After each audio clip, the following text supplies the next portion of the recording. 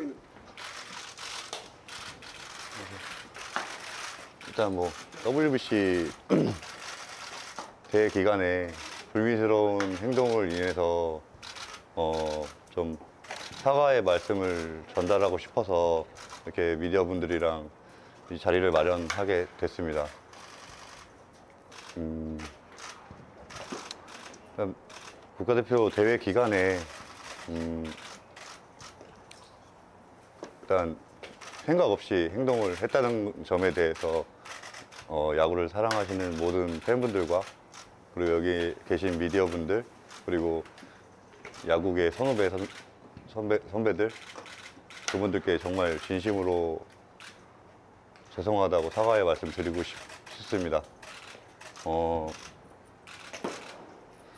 정말 팀의 베테랑으로서 어, 생각이 너무 짧았고 음, 제가 컨트롤 할 수 없었다는 거에 대해서 정말 후회를 많이 하고 있고요. KBO에서 조사하는 거를 어, 충실히, 충실히 잘 조사를 받고 거기에 대한 나온 결과는 제가 어, 겸허히 받아들이도록 하겠습니다.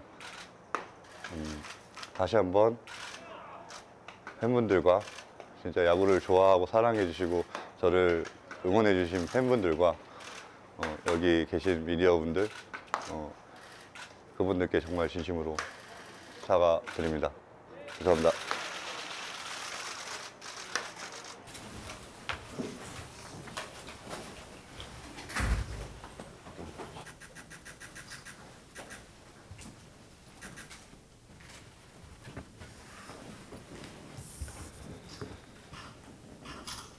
NC나에서 투수 이용찬입니다. 먼저 국가대표로서 많은 응원을 보내주신 팬분들과 모든 관계자분들께 신발 끼쳐 죄송합니다.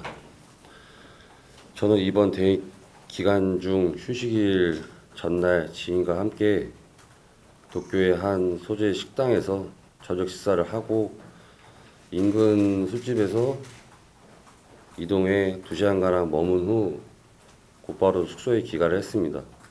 이유를 불문하고 국제, 국제대회 기간 중 음주를 한 점에 대해 깊이 반성하고 있습니다.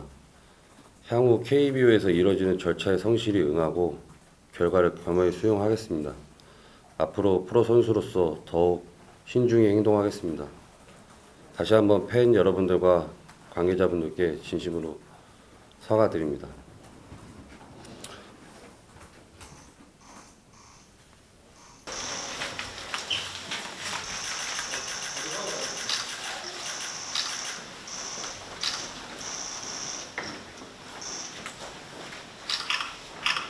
안녕하십니까 부산베어스 권철원입니다.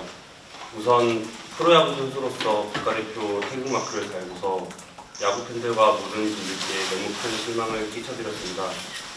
머리 숙여 사, 사과드립니다. 저는 WBC 대회 중인 3월 10일 1분전이 끝나고 술자리를 가졌습니다. 대표팀이 좋지 않은 성적에 많은 분들이 실망하고 있는 상황에서 부끄러운 행동을 하고 말았습니다. 진심으로 사죄드립니다. 변명의 여지가 없는 경솔한 행동이었습니다. 제 자신이 부끄럽습니다. 저는 해극마크라는 영광스러운 현장을 받았던 만큼 더욱 책임감 있게 행동해야 했어야 했습니다. 하지만 팬들의 기대와 신뢰를 저버리고 말았습니다. 앞으로는 저는 그라운드 안에서는 물론 밖에서도 모범이 되고 팬들께 실망시키지 않는 선수가 되겠습니다. 프로 선수로서 공인으로서 겸손하고 성실하게 행동하겠습니다. 또한 KBO 조사에 성실히 임할 것이며 어떠한 처벌과 질책 모두 달게 받겠습니다. 다시 한번 진심으로 죄송합니다.